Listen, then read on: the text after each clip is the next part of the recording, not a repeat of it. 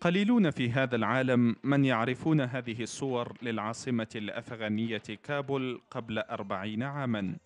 صور النمو ومظاهر الحضارة والتقدم هذه تفقدها أفغانستان على مدى أربعة عقود بسبب الانقلاب الشيوعي الذي أدخل البلاد في مرحلة المجهول ومصير لا يزال الغموض أبرز سماته.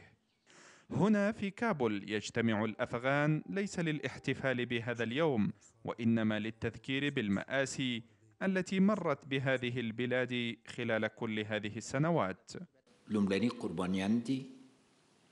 الشهيد داود خان مؤسس الجمهورية مع أطفاله كان أول ضحية للانقلاب الشيوعي واستمر فصل الدم في هذه البلاد أربعين عاما.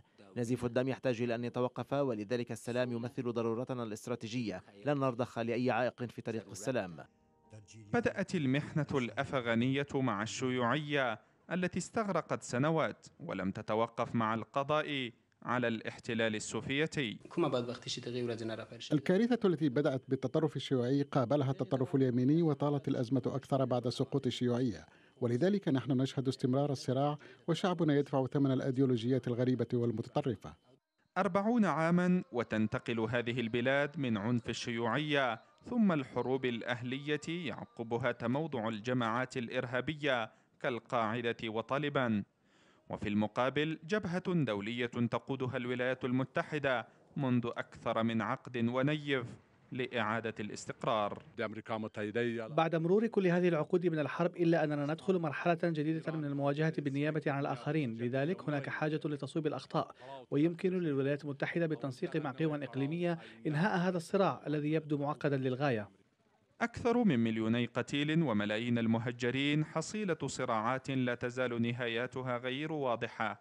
واليوم وبعد مرور كل هذه السنوات يقف الأفغان مجددا أمام مفترق طرق.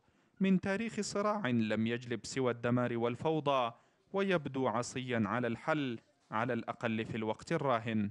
اذا هو أطول صراع تشهده هذه البلاد ورغم الجهود الدولية لوضع نهاية له إلا أن الوقائع الميدانية يشير إلى استمرار محنة الأفغان في ظل التعقيدات المتراكمة على مدى أربعة عقود. صفة الله صافي الحرة. كابل.